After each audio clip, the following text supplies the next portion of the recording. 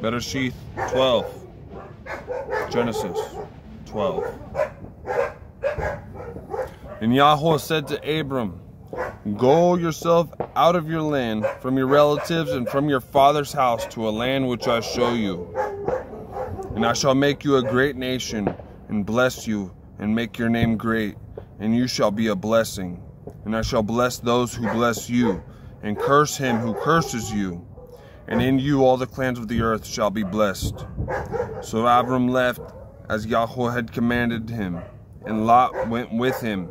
And Abram was 75 years old when he set out from Haran. And Abram took Sarai his wife, and Lot his brother's son, and all their possessions that they had gathered, and the beings whom they had acquired in Haran, and they set out for the land of Canaan.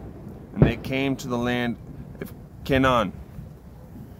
And Abram passed through the land to the place of Shechem, as far as the terebinth tree of Moreh at that time the Canaanites were in the land, and Yahweh appeared to Abram and said, To your seed I give this land. And he built there a slaughter place to Yahweh, who had appeared to him. And from there he moved to the mountain east of Bethel. And he pitched his tent with Bethel on the west and Ai, Ai on the east. And he built there a slaughter place to Yahweh, and called on the name of Yahweh. And Abram set out, continuing toward the south, and a scarcity of food came to be in the land.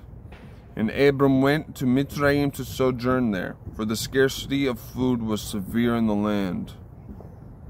And it came to be, when he was close to entering Mitzrayim, that he said to Sarai his wife, See, I know that you are a beautiful woman to look at.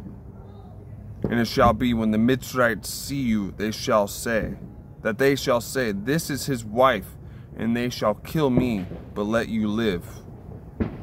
Please say you are my sister, so that it shall be well with me for your sake, and my life be spared because of you. And it came to be when Abram saw, when Abram came into Mitzrayim, that the Mitzrites saw the woman, that she was very beautiful. And Pharaoh's officials saw her and praised her before Pharaoh. And the woman was taken to Pharaoh's house. And he treated Abram well for her sake. And he had sheep and cattle and male donkeys and male and female servants and female donkeys and camels. But Yahweh plagued Pharaoh and his house with great plagues because of Sarai, Abram's wife.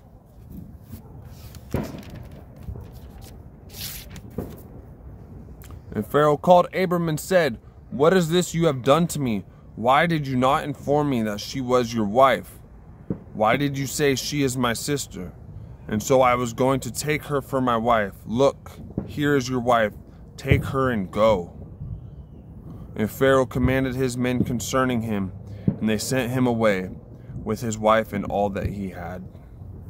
That concludes Bereshith Genesis 12. Thank you.